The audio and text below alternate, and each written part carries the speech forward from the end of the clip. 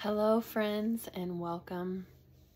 Um, today, this video, I felt led to talk about drawing near to the Lord. And um, as I was in prayer time, just the scripture came up draw near to me, and I will draw near to you.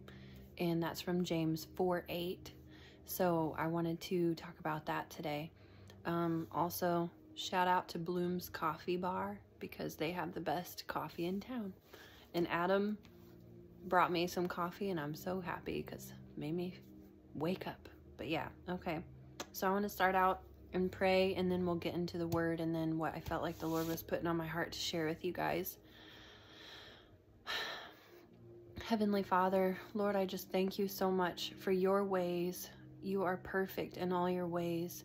Lord, I thank you for your mercy, for your grace, for your goodness and your faithfulness. And Lord, I just pray that I would be a mouthpiece for your spirit, that you would use me to convey what you are wanting your people to hear.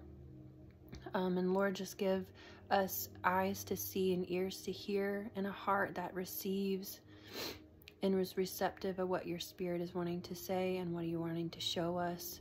And Lord, I just bless every listener, everyone who would log on and hear this message. I just bless them. And I pray the life giving wellspring love of Jesus flow through their life. In Jesus' name, amen. Okay, um, so like I was saying, I wanted to talk about drawing near to God and Him drawing near to you. Um, kind of my background I was raised in church from the time I was six. So I kind of had a head knowledge, but I, I knew Jesus, I knew God through whoever was telling me about them. I would read, you know, memory verses and things like that, but I did not have a personal relationship myself. I knew him through a friend, if you want to say, you, you know, you have acquaintance or someone you know through someone. That's how it was for many years. Um, and through that time, it was very easy to tr- be tripped up into sin, into the world, um, because the world is enticing. It is full of pleasures. Your flesh is drawn to the world. Um, so it's only natural that you naturally want to seek the things of the world. Um, and so, yeah, that happened to me. And I know it's happened to many believers. Um, and for for some people, I think they get so steeped in different things that are not of God that they feel like if they were even to reach out to God, that he, they would get in trouble, that they would get reprimanded, that he would be he would deal harshly with them. They just carry a lot of shame, a lot of guilt, a lot of condemnation about their choices, about what have what they have done or what's happened to them. And so they don't draw near to God, many times they're driven away from God.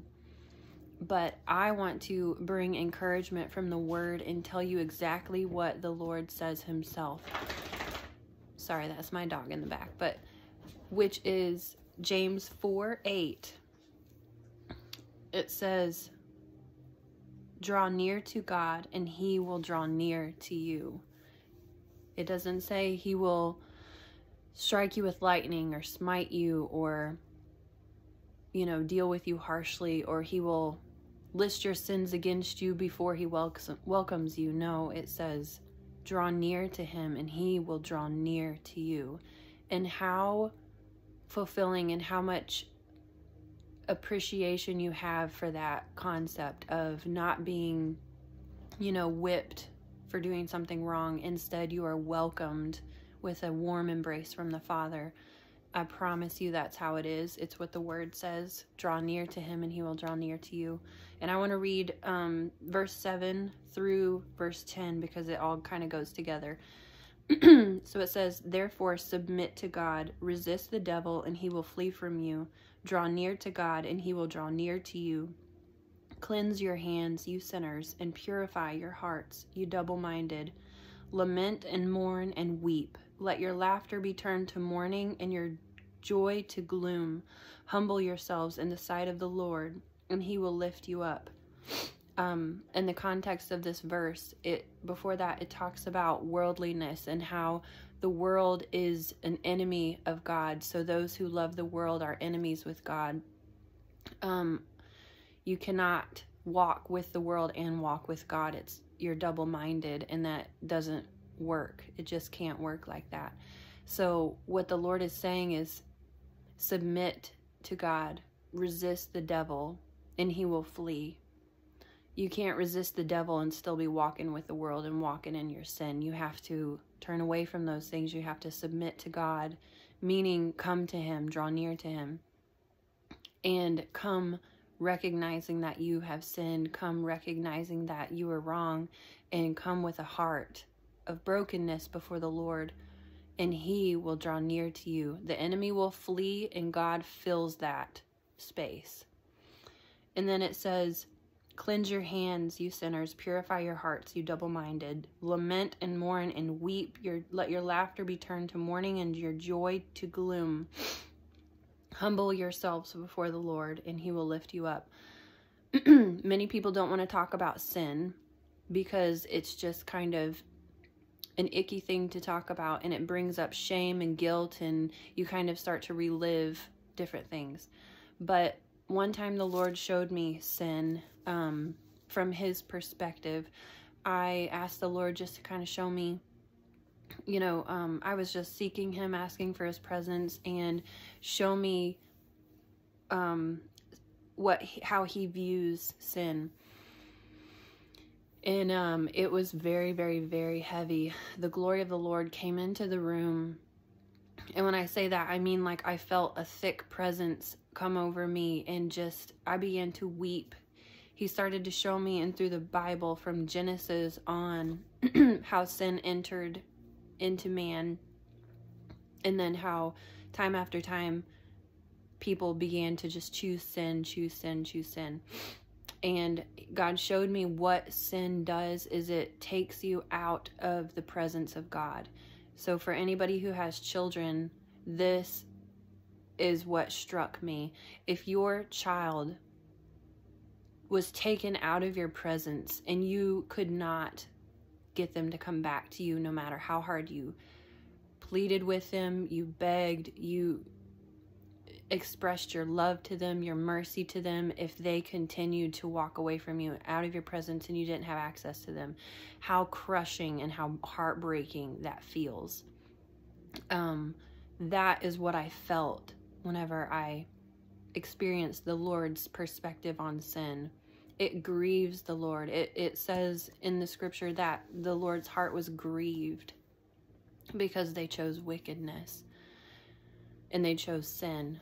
So, sin is the enemy would try to get your focus on how it condemns and how it's shameful and guilt guilt jerk you into not addressing your sin. But the Lord wants you to know that sin literally grieves him because it takes you out of his presence. He can't be with you the way that he would like to because you are choosing sin and it takes you from his presence. But the minute that you recognize that and that you turn away from your sin, and then because the Lord, when it speaks there, let your laughter turn to mourning, your joy turn to gloom. It's how you see your sin. When you recognize your sin, that's what it should cause within you to make you feel that it's not it's sin is not funny, sin is not a game, sin is not something to entertain or play with. It is literally something that grieves the Father's heart. And so that automatically should make you feel no joy, no laughter, Instead, it really should bring sorrow to your heart. And whenever that sorrow comes to your heart, you've had a mind change about sin and you want to walk the other way. And when you walk the other way, you draw near to the Lord, and the Lord then draws near to you. So He's not going to bash you or shame you or condemn you or anything like that. He cannot resist the cries of His children. So that's why I want to encourage you to turn to draw near to the Lord and allow Him to draw near to you. And the scripture says that times of refreshing come with repentance. Um, so, yeah, that was the gist of what I wanted to share today. I hope it blessed you. I'm trying to keep these videos. Sorry, my battery's dying. I'm trying to keep these videos a little short um, just to try to get it condensed into what I'm trying to explain and work on articulating what I'm hearing in my spirit. So, yeah, if you liked what you heard, comment below, um, share it with others, and um, I just pray that you have a blessed day, that you turn to the Lord, and that you draw near and you experience that refreshing rain that comes. All right, see ya.